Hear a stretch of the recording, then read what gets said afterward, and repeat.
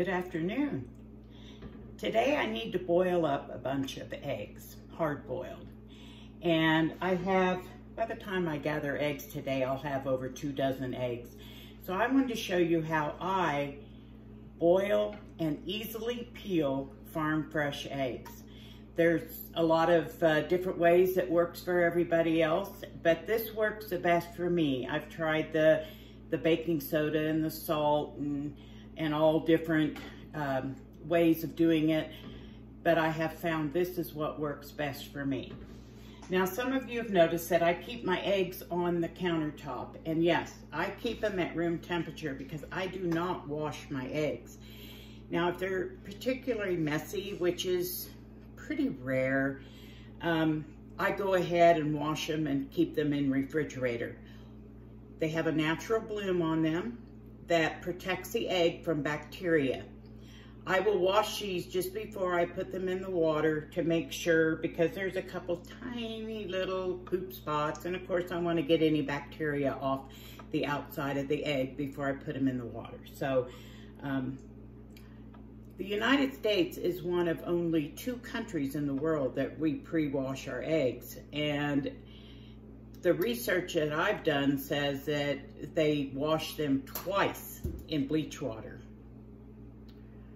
We get enough bleach in our diet as it is. I don't want it on my eggs too. So um, I'm gonna wash these up and then I'll tell you what I do when I hard boil my farm fresh eggs. I decided to do one and a half dozen eggs. Um, your farmer likes just plain hard-boiled eggs. Uh, I don't particularly care for them. I think it goes back to my childhood, you know, when you're Easter egg hunting, you see that beautiful egg and you open it up, take a bite, you think you're getting candy. No, you get a boiled egg. so, I don't know, I never have cared for boiled eggs. Um, I'm also going to make probably a small batch of egg salad um, for sandwiches, and then I'll make deviled eggs. Who doesn't like deviled eggs? The thing that I do is I get a pot of, of water boiling. I want it to come to a, a good boil, and I put the eggs directly in the boiling water. So I'm gonna let this water come to a boil. I'll move you down and you can see what I do from there. Okay, as you can see, my water is boiling. And now I'm gonna take the eggs and just place them directly in the boiling water. And yes, occasionally one will crack when it goes in, but all my eggs, remember, are at room temperature, so I don't seem to have um, too much of a problem. Usually it's an egg that might have had already had a micro crack, crack in it. Look at the size of some of these eggs. These are my regular laying hens, and these are California whites. It's amazing. And I consider my hens to lay, um, uh, sometimes they're medium, but usually large eggs. But these California whites lay huge eggs. They're great um, layers. So, like I said, um, these are all fresh eggs. There might be one or two. I just had one crack. There might be one or two that um, are over a week old. But all of them are just a matter of a few days.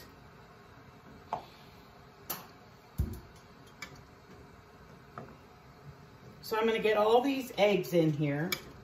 I'm going to bring it back to a boil. And typically for a hard-boiled egg, you would boil for about 10 minutes. Well, I've learned because of the size of these California whites and the um, some of them are double yolkers. I go longer than 10 minutes because I want the entire egg cooked.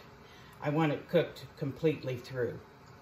So once it comes back to a boil, I'll set my timer and just to be safe, I'm gonna go closer to 12 to 15 minutes. I'll come back when they're done boiling. Okay, my um, timer just went off. I think I had it for 13 minutes. I just now shut the heat off. I have a large bowl of ice water right here.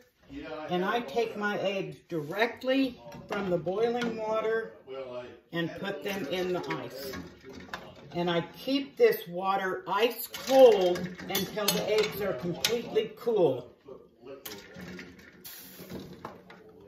Here's my egg that cracked.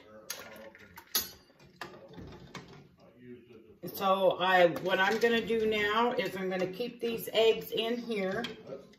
As the, eh, the ice melts, I'll just keep adding more ice because I want these to cool down quickly and get cold.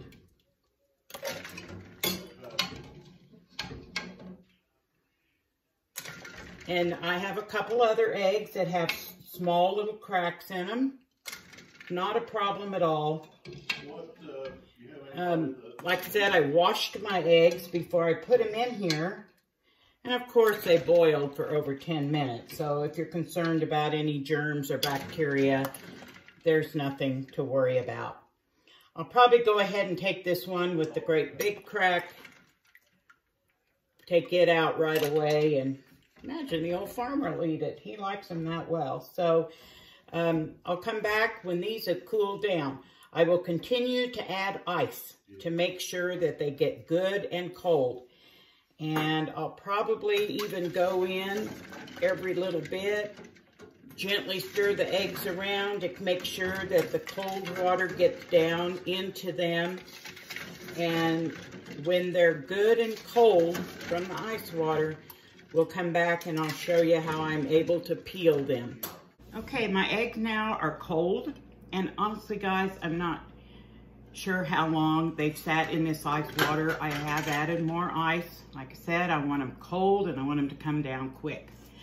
I have a bowl here that I'm gonna put my peeled eggs in and another bowl for my eggshells. Now, all of you that have been with me know that I have a pretty good sized compost pile and this all goes in there. So let's just reach in and get an egg. Now, normally I don't do this sitting at the table. I do it standing at the sink because then I can rinse my eggs. But I'm gonna show you one or two eggs, how easy they are to peel. And we might even just move over to the sink. So I just pop it on the table and it literally just peels right off. I should have rolled it and got a bigger crack, but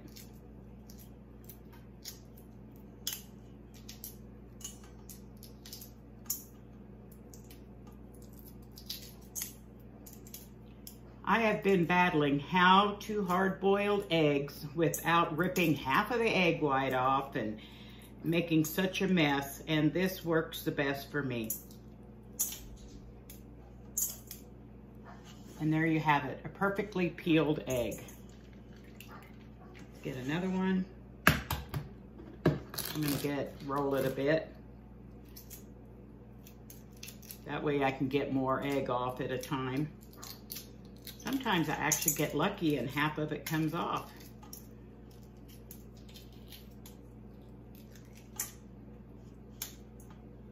I have been so happy since I figured out that this how this works.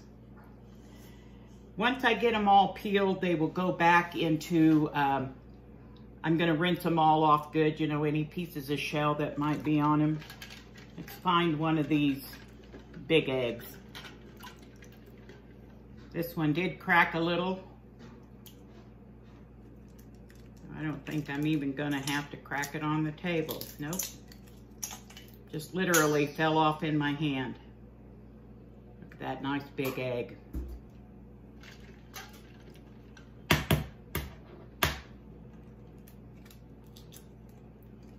Guys, this is how I do it.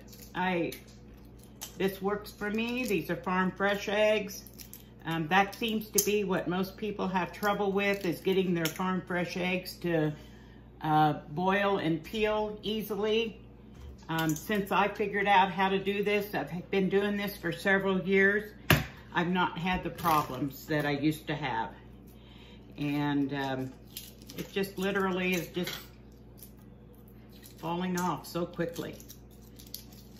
Matter of fact, I never used to make deviled eggs because I could never have a, a nice egg. Let's get another one of these big ones.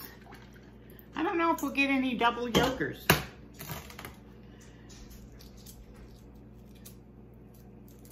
One thing I've noticed about the California whites is their shell doesn't, I don't know, it doesn't seem to be quite as thick as all my other breeds. Okay, beautiful egg.